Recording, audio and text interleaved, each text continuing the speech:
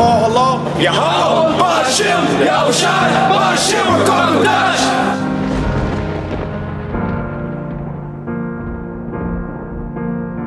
For if we believe that Christ died and rose again, even so them also which sleep in Yo, will. God bring with him. For this we say unto you by the word of the Lord, that we which are alive and remain unto the coming of the Lord shall not prevent them which are asleep.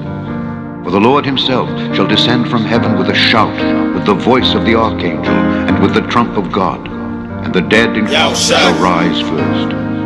Then we which are alive and remain shall be caught up together with them in the clouds to meet the Lord in the air. And so shall we ever be with the Lord. Wherefore, comfort one another with these words. Call Allah, Yahweh,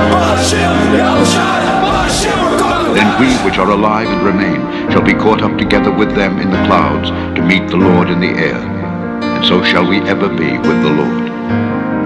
Wherefore, comfort one another with these words. Wherefore, comfort one another with these words. Wherefore, comfort one another with these words.